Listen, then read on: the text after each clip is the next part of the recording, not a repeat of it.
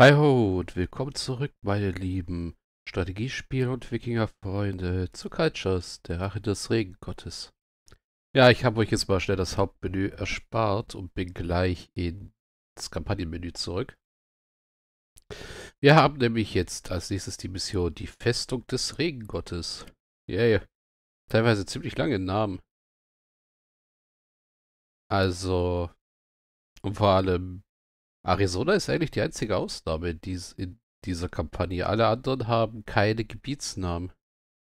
Also in der letzten, in der Hauptkampagne waren es ja so Sachen wie Markland, Voltland, Winland, Mississippi und so. Und hier sind es halt Namen wie der Auftrag, der Aufbruch, die Fährte. Die Höhle der Offenbarung ist einer der Dankennamen. Und jetzt haben wir die Festung des Regengottes. Die Wikinger erreichen die Stadt des Regengottes. Dann gucken wir mal.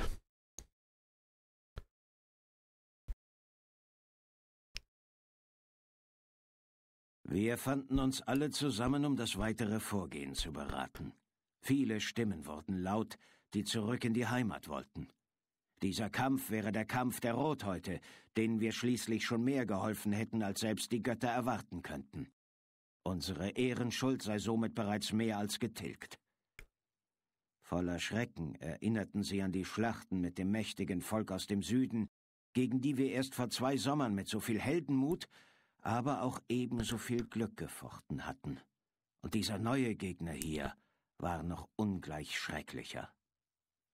Nach drei Tagen der Rast und der Beratungen beschlossen wir schließlich, uns zu trennen. Ich selbst und einige wenige der mutigsten Männer und Frauen wollten dem Geheimnis des Regengottes auf den Grund gehen und, wenn möglich, den Gräueltaten und Raubzügen ein Ende bereiten. Die anderen traten noch am selben Tag die Heimreise an.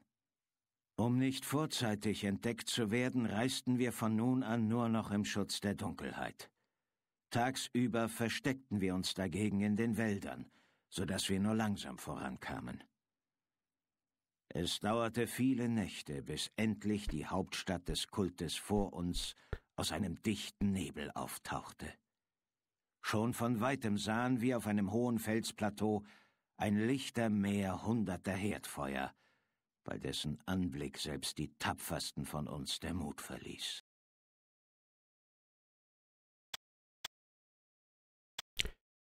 Ja, finde einen Weg, den Kult des Regengottes aufzuhalten. Besiege den Regengott Quetzalcoatl. Äh, gut. Erstmal... So, jetzt sollte ich wieder annehmbarer klingen. Gut, wie immer.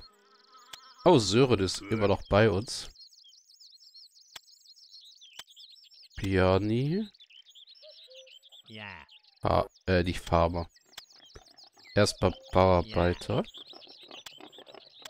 Knut, Kundschafter.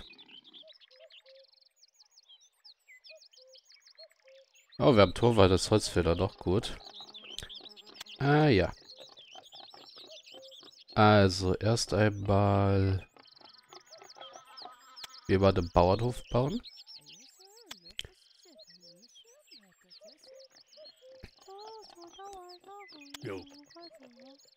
Oh, wir haben Struller schon als Kundschafter. Okay, das heißt, äh...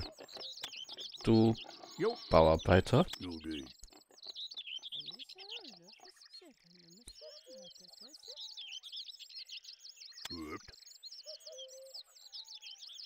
Und ja, man sieht es der Map schon an. Sie scheint groß zu sein. Oh, Steine.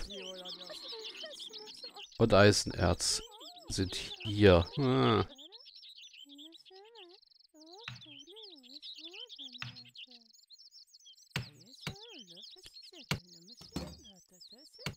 Ja. Na gut, wir können...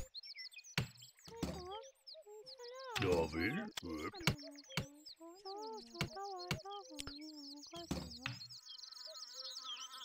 Gut. Wir können nördlich. Okay, Sven hat schon mal den Beruf erfunden, nämlich den Bauarbeiter.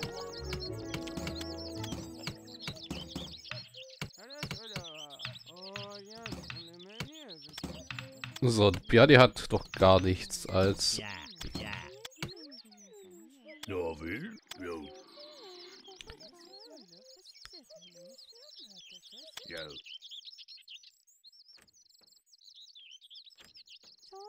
Okay, die nächste Frage ist... Iggy ist erwachsen. Ah. Ja. Ja. Ja, will?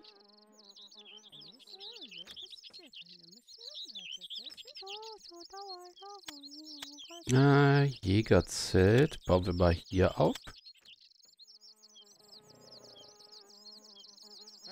Prost out. Mhm. Weil hier gibt's hier gibt's die Tiere, so wie es aussieht.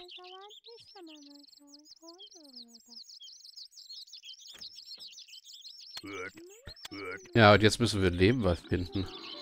Ja.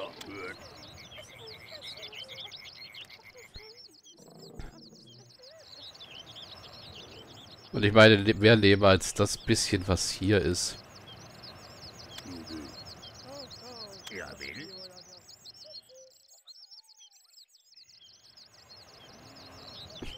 Nudel. Ach ja, wie gerne ich jetzt mittlerweile faul wäre und den Cheat benutzen würde, um die Map aufzudecken.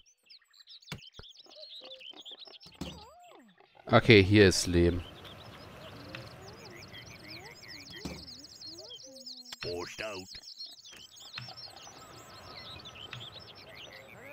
Ja.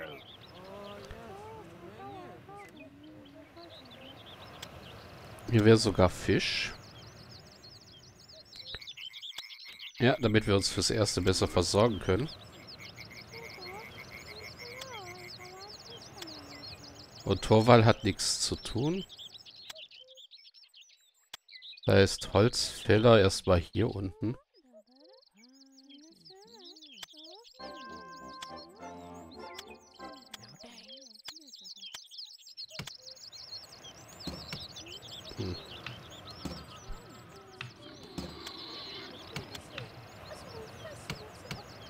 Und Stroller ist hungrig. Ja, nicht so toll.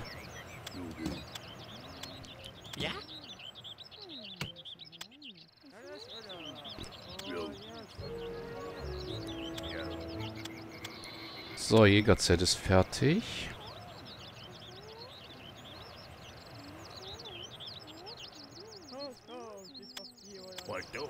Du bist doch kein Bauarbeiter, also wirst du Le Jäger.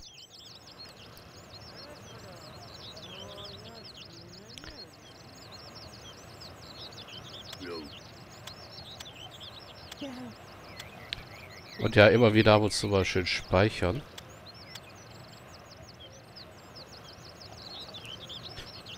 Falls wir zufällig aus Versehen in Maya-Truppen reinrennen, dass wir nicht gleich von ihnen getötet werden.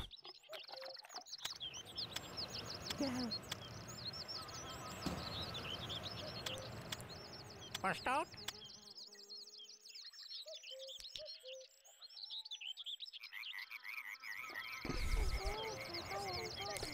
Also ja, Leberarbeiter wird hier drüben gebraucht werden.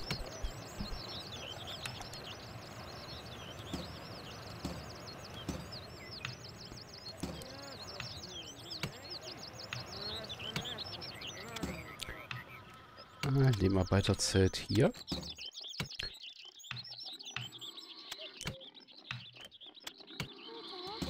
Können wir auch gleich mal hier die Mühle bauen.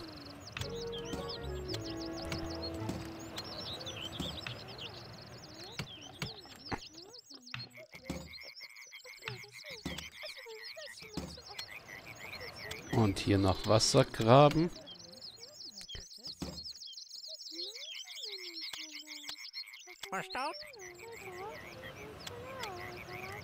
So, Fischerzelt ist fertig.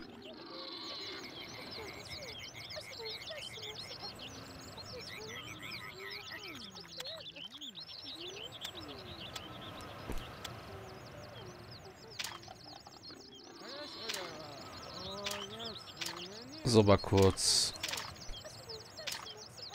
Wir haben fünf Bauarbeiter noch. Davon muss einer Fischer werden. Bleiben noch vier. Das heißt, zwei haben wir noch zur freien Verfügung.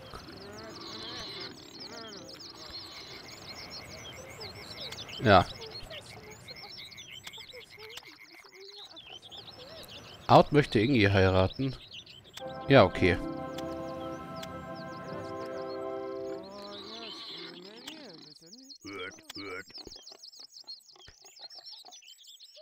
Das heißt, ich werde hier so zentral ein Zweifamilienhaus hinbauen für Holzfäller und Lehmarbeiter.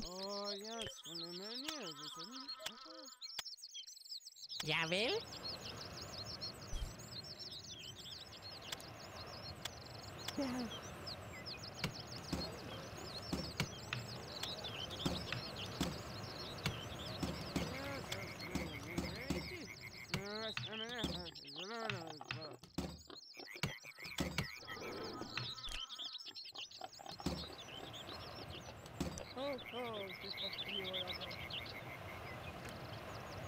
Ja, er dürfte genug Anbaufläche hier finden, eigentlich, in den grünen Bereichen.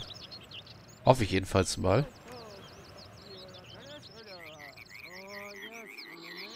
Weil hier ist halt alles von dieser Sand, von diesem Sand durchzogen. Was das Ganze ein bisschen schwieriger macht. Ja, will? Ja?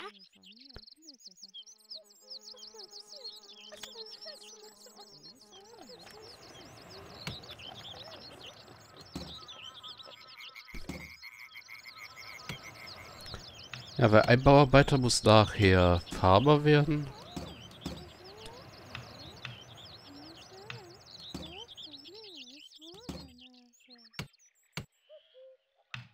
Ja, will?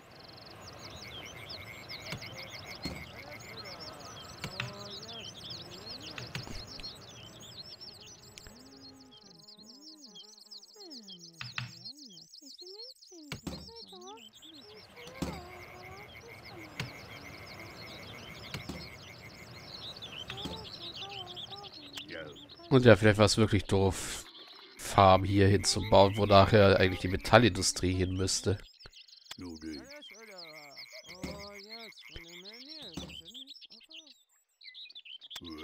Eigentlich sollte ich wirklich nochmal neu starten, weil das wird dann ineffizient.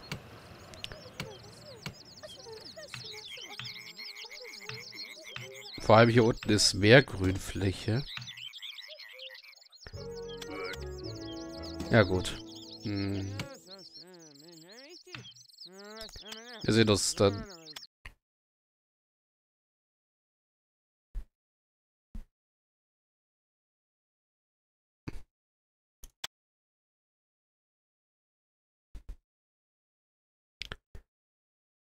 Wir fanden uns alle zu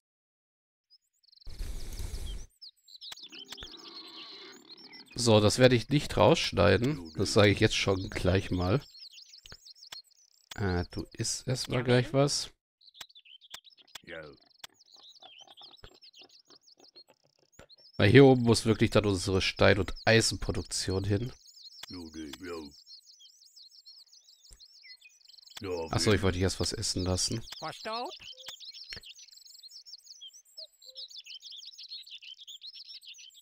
So, Knut ist Zivilist mit. Bauarbeiter erst einmal.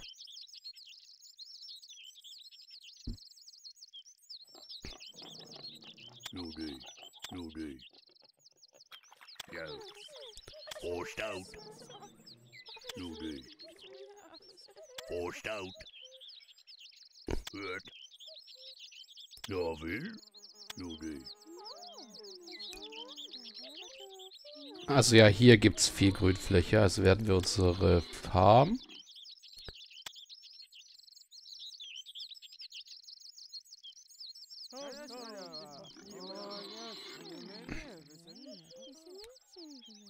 Hier hinsetzen. Da haben wir hier die Grünfläche zur Auswahl.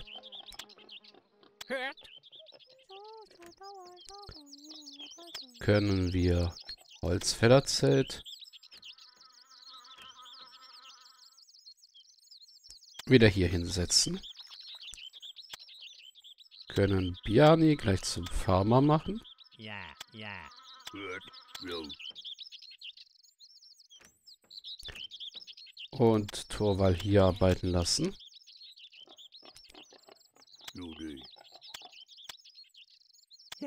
Dann haben wir nämlich hier Platz für die Stein- und Eisenproduktion.